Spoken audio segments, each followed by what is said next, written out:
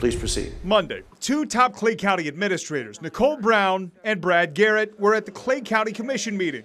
Both have come under question for receiving these rent free lease deals signed without a date by a former county administrator who resigned in the face of a state audit in 2018. In return, the county gets six months of on call service with only Garrett and Brown having to pay utilities. We are adjourned. Thank you. At the end of Monday's meeting, Nicole Brown's chair sat empty. Hey, Brad, we have some questions for you.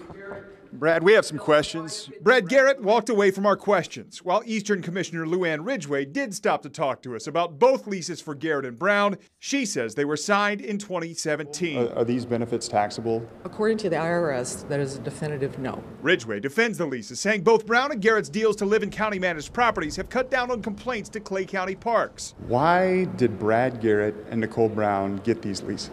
Um, I cannot comment on any employee specific. I, I'm happy to talk with you about policies.